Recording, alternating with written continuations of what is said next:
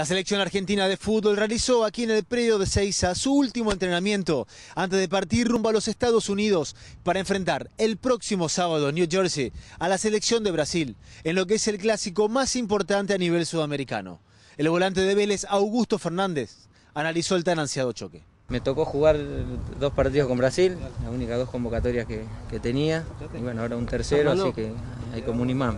Eh, contento, una citación eh, con la verdad con la calidad de jugadores que, hay acá y, bueno, más que nada en un partido contra Brasil, más no puedo pedir. Es la selección argentina y, la presión de ganar la tenés siempre. Eh, en este caso jugando contra Brasil existe un plus extra, así que yo creo que, los dos se quieren ganar y, como dije, la presión de vestir esta camiseta te marca que siempre tenés que, tenés que ganar y contra Brasil más todavía. Van a enfrentar a Neymar, vos lo conocés, lo enfrentaste hace poco. ¿Se, lo, se exagera lo que es eh, Neymar, lo que representa Neymar como jugador?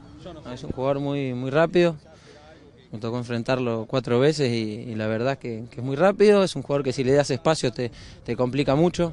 Pero, pero bueno, con Vélez hemos dado muestra de que, de que se puede marcar bien, eh, se lo puede anular. Lógico que en cuanto te distraes o le dejas un poquito de espacio, te, pinta la cara, pero, pero estando bien concentrado, bien compacto, yo creo que no va a haber problema.